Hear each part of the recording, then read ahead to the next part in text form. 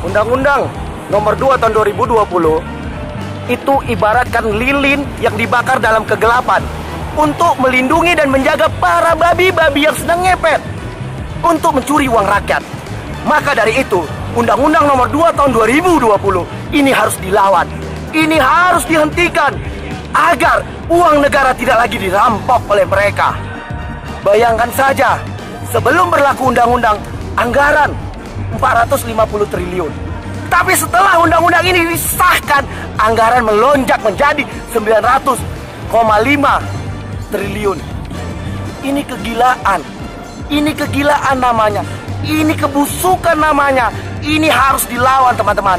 Untuk itu, kami mengajak seluruh rakyat Indonesia untuk melawan Undang-Undang Nomor 2 Tahun 2020 agar undang-undang ini batal demi hukum. Dan jika para hakim Mahkamah Konstitusi masih mensahkan undang-undang ini. Hanya ada satu kata kawan. Lawan, kita jemput people warrior. Kita tunjukkan bahwa rakyat siap revolusi.